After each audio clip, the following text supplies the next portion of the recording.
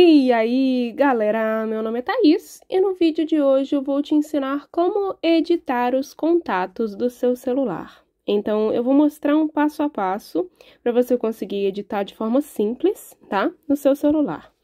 Você vai acessar o aplicativo Telefone, tá? Ou a sua agenda, onde você consegue visualizar todos os números.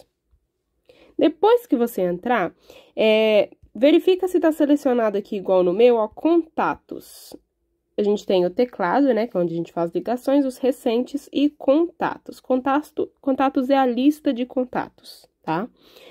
Eu vou selecionar aqui um número aleatório. Olha, ele tá me cliquei em cima, ele tá me mostrando mais opções, se eu quero ligar, mandar mensagem, etc. Eu vou clicar nesse ícone aqui, que é um íconezinho de i, né, como se fosse informações. OK. Agora, ele me mostrou o número, né? Me mostrou que tem WhatsApp também. E é isso. Você vai clicar lá embaixo em editar, tá? Se não tiver da mesma forma que o meu, provavelmente vai ter três pontinhos. Aí você clica nos três pontinhos e vai ter o editar, ó. Editar. Agora eu posso alterar esse número, ou adicionar um outro número, ou trocar um nome, ó, e salvar ali depois, ó. Pronto fiz edição de um número. Quando você editar um número nos seus contatos, você tem que ir lá no WhatsApp e atualizar a sua lista de contatos para ele atualizar no WhatsApp também, tá?